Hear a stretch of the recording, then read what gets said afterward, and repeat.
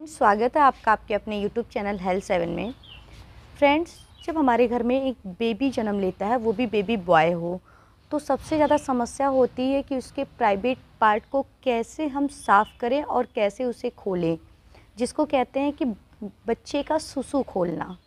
क्योंकि अगर हमारे घर में कोई बड़े बुज़ुर्ग नहीं रहते हैं, या जो पेरेंट्स हैं वो कहीं बाहर रह रहे हैं रूम लेके रह रहे हैं या फिर उनके साथ में जैसे दादी, नानी ऐसे लोग कोई नहीं है या उनके आस पड़ोस कोई ऐसा नहीं जो उन्हें बताए तो फिर उनके लिए ये बहुत बड़ी समस्या हो जाती है कि वो अपने बच्चे का सुसु कैसे खोलें, उसे कैसे साफ़ करें, क्योंकि नहीं आइडिया होता है। मैं विहान की ही बात कर लूँ, मुझे थोड़ा भी आइडिया नहीं था कि बच्चे का सुसु कैसे खोलते हैं, कैसे साफ़ करते हैं, उसको कब तक खोलना चाहिए या कब से खोलना शुरू करना चाहिए, या वो एक दिन में खुलता है या दो चार दिन में, दस दिन में खुलता है। और कब तक हम खोल सकते हैं? मतलब बहुत सारे मन में क्वेश्चन थे। फिर लास्टली मेरी एक छोटी दादी हैं, उन्होंने मुझे बताया कि बेबी का प्राइवेट पार्ट हम कब से स्टार्ट कर सकते हैं, कब तक खोल सकते हैं और बेबी के प्राइवेट पार्ट को खोलते समय हमें कौन कौन सी गलती नहीं करनी चाहिए। साथ में उन्होंने ये भी बताया कि अगर हमारा बच्चा एक साल का हो गया है तो क्या बेबी का प्राइवेट पार्ट ईजली घर पे खोला जा सकता है या सच में डॉक्टर के पास जाने की ज़रूरत है? क्योंकि कुछ लोगों का कमेंट भी आया था कि मेरा बच्चा एक साल का हो गया डेढ़ साल का हो गया उसका प्राइवेट पार्ट नहीं खुला है हम क्या करें? तो ये सारी जो चीज़ें हैं इसको देखते हुए हमने ये वीडियो बनाया ताकि जो नॉलेज मेरे पास है जैसे मैंने अपने विहान के साथ आ, उसके जो प्राइवेट पार्ट है उसका जो सुसु सुसु है उसको क्लीन किया है साफ़ किया है उसका सुसु खोला है वही मैं आप लोगों से शेयर कर रही हूँ ताकि अगर आपके घर में कोई बेबी बॉय है तो आप इजली उसका सुसु घर पे खोल पाएँ।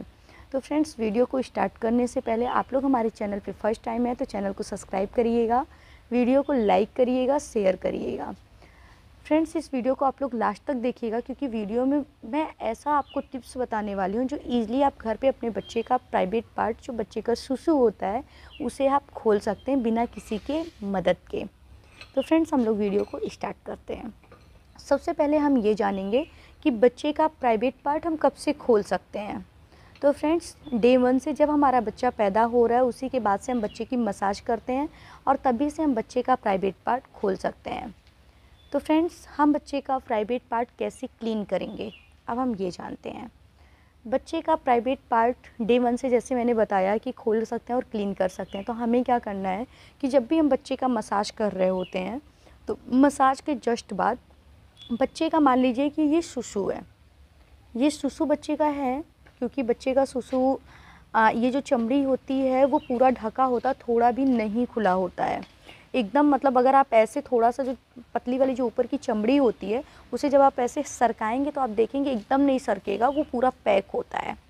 तो सबसे पहले पहले दिन से हमें क्या करना है कि बच्चे का जो चमड़ी है, उसको दोनों हाथों से थोड़ा सा ऐसे ऐसे थोड़ा सा ऊपर करना है।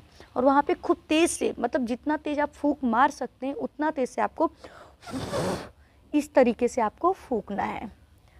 उसके बाद तुरंत आपको चमड़ी फिर ऐसे ही, जैसे ये चमड़ी फिर ऐसे ही ऊपर कर देना है, क्योंकि उसके अंदर और हवा नहीं जानी चाहिए। अगर और हवा अंदर चली जाएगी तो फिर वहाँ पे गंदगी बैठ जाएगी, जो कि आगे चल के बच्चे के लिए ठीक नहीं रहेगा इन्फेक्शन पैदा कर देगा।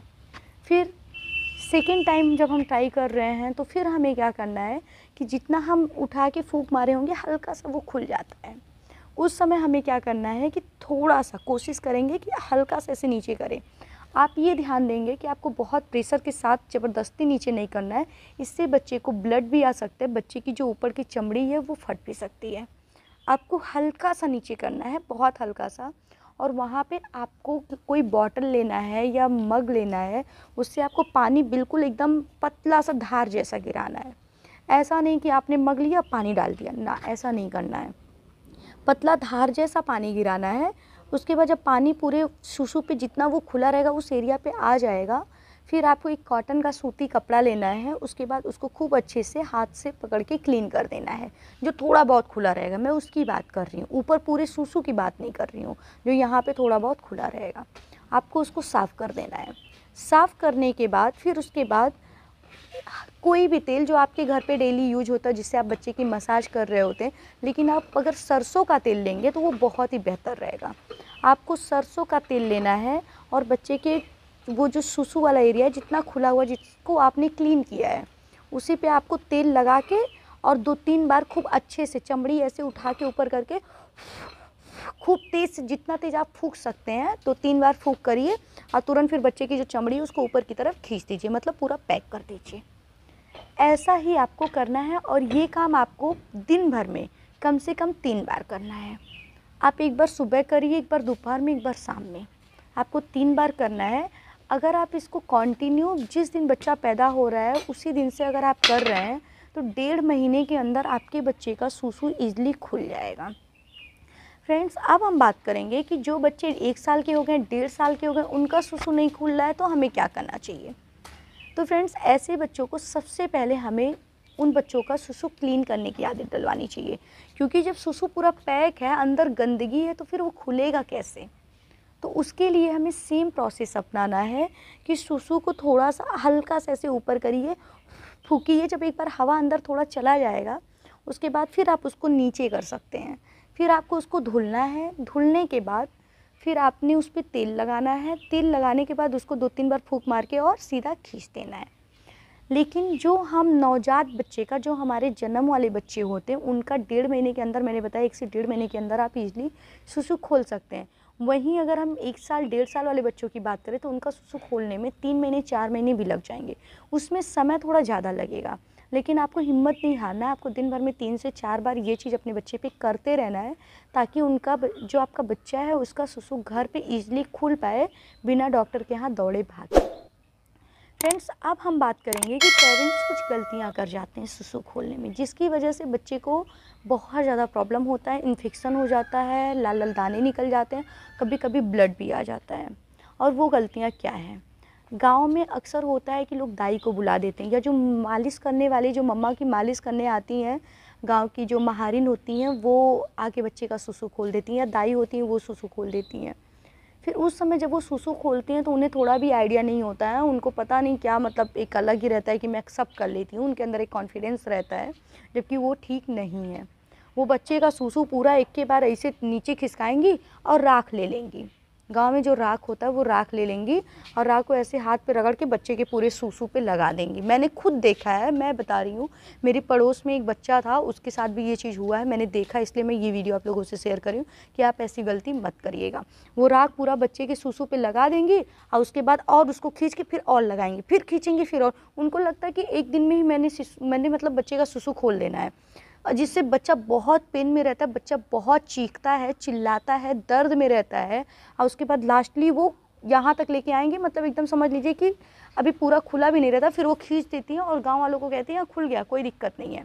जिसकी वजह से हमारे बच्चे को दो तीन दिन तक बुखार रहती, जो मैं बता रही हूँ कि बगल का एक बेबी था, उसको दो दिन तक बुखार थी, बच्चा बहुत पेन में था, और लास्ट में दो तीन दिन बाद वो सुसु देख रहे हैं तो खुला भी नहीं है। फिर वो लास्ट में मतलब समझ लीजिए कि बहुत उनको प्रॉब्लम हुई। फिर वही है कि हमने उनको बताया कि ऐसा है, मेरी दादी बताई थी विहान के समय पे, आप इस तरीके से खोलिए, हो जाएगा। तो अभी उनके बेबी का भी मतलब लास्ट रिसेंटली उनका फ़ोन आया था, उन्होंने बताया कि हाँ बहनी मेरे बच्चे का जो सुसु है वो खुल गया हमने कहा, बहुत अच्छी बात है। तो फ्रेंड्स आपको ऐसी गलती नहीं करनी है। कुछ लोग मिट्टी का भी यूज़ करते हैं बेबी के सुसु पे लगाते हैं, लेकिन वो हम और गंदगी फैला रहते हैं जिससे हमारे बच्चे को इन्फेक्शन हो सकता है। तो हमें वो काम नहीं करना है। फ्रेंड्स अब एक लास्ट और इंपॉर्टेंट चीज़ हम आपको बताएँगे जो कि आपका जानना बहुत ही ज़्यादा ज़रूरी है। फ्रेंड्स जब आप बच्चे का सुसु खोल रहे होते हैं, मान लीजिए डेढ़ महीने जैसे मैंने बताया कि जन्म से लेकर डेढ़ महीने में बच्चे का सुसु खुल जाता है तो उसके बाद आपको छोड़ना नहीं है। तुरंत अगर आप एक बार देख लिए कि सुसु खुल गया, फिर आप छोड़ देंगे तो फिर वो फिर से पैक हो जाता है। फिर वो फिर से आपको शुरू से मेहनत करना पड़ेगा।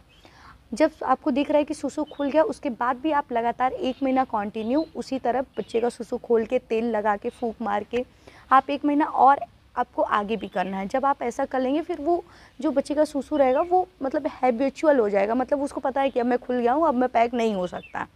फिर वो कभी नहीं पैक होगा, पूरे लाइफ टाइम बच्चे का सूसू ठीक रहेगा। उसको कोई प्रॉब्लम नहीं होगी, आपको डॉक्टर के पास भी नहीं भागना पड़ेगा। लेकिन अगर आपने सारे पैतड़े अपना लिए हैं और बच्चे का सुसु नहीं खुल रहा है, बच्चा चार साल, पाँच साल का हो गया, ऐसे केस में आप डॉक्टर के यहाँ ज़रूर जाए, वरना आपके बच्चे को कोई अंदरूनी प्रॉब्लम हो सकती है। तो फ्रेंड्स, हमारा वीडियो कैसा लगा सुसु खोलने का, आप लोग हमें कमेंट में बताइएगा और चैनल को सब्सक्राइब ज़रूर करिएगा ताकि ऐसे ही मोस्ट इंपॉर्टेंट वीडियो मैं आपके लिए लाती रहूँ। मिलती हूँ नेक्स्ट वीडियो में। Thank you so much. कहाँ है?